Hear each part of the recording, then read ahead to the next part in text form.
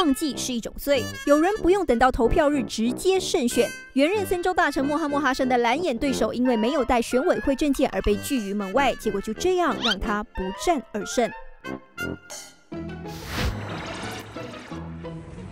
忘记案例第二宗，提名日忘记带 IC，蓝眼望上马珠候选人陈怡乔复印 IC 之后，把 IC 放在复印机上忘记带走，出现只有副本没有正本的窘境。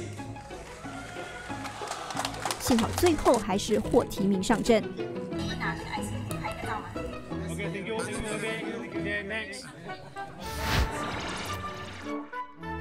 还是跟 IC 有关。彭亨国政候选人刘开强的 IC 住址不是在竞选州属，他说自己已经在网上更新住址了。不过现场似乎不太接受他的说法，甚至高喊 “Show me the IC”。之后，西蒙候选人更在台上高举身份证抗议。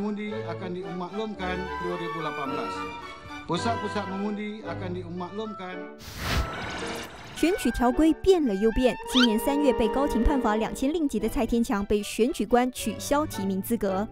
原来是上届选举被判两千令吉还是可以上阵的条规，现在已经不适用在这届大选。说好的巫师王呢？高调召开记者会宣布竞选的巫师王伊布拉辛怎么不见了？哦，巫师王说破产了，没钱来竞选。穆尤丁领军攻打巴俄国会选区，但是提名日笑不出来。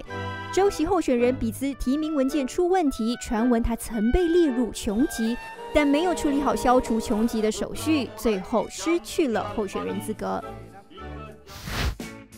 不唱党歌，不唱国歌，唱生日歌。原来今天是西蒙候选人陆兆福的生日。